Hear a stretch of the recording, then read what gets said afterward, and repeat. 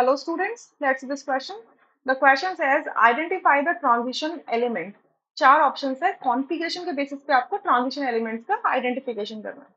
तो देखिए अगर मैं यहाँ से एक एक करके देखती जाऊँ तो यहाँ लिखा one S two two S two two P six three S two three P six four S two मतलब बैलेंस जो इलेक्ट्रॉन है वो कहाँ गया है? फोर एस ऑर्बिटल में गया है। तो ये तो एस ब्लॉक का एलिमेंट हो गया। ठीक है एस ब्लॉक का एलिमेंट हो गया। तो A option rule out second को देखो one S two two S two two P six three S two three P six then हमें पता है कि फोर एस टू में फिलिंग होती है ऑफ़ ऑफ़ प्रिंसिपल के according then three D two में होगी। तो यानी कि ये क्या बैलेंस इलेक्ट्रॉन कहाँ गया है? थ्री डी के अंदर गया है। तो ये क्या है? डी ब्लॉक का एलिमेंट है।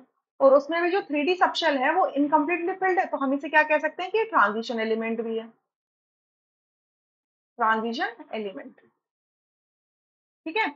सो बी ऑप्शन हमारा सही हो सकता है। सी को देखो।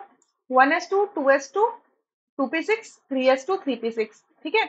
ऑफ़ वाव के अकॉर्डिंग फिर फोर एस टू आएगा then three D ten and then four P two ठीक है? तो इसका मतलब बैलेंस इलेक्ट्रॉन कहाँ गया? पी ब्लॉक के अंदर। सो ये पी ब्लॉक एलिमेंट हो गया। इस कॉन्फिग जो भी कॉन्फिग्रेशन दिए, इसको ऑफ़ वाव के अकॉर्डिंग सिर्फ़ आपको प्लेस करना है, ठीक है? तो सी ऑप्शन गलत हो गया।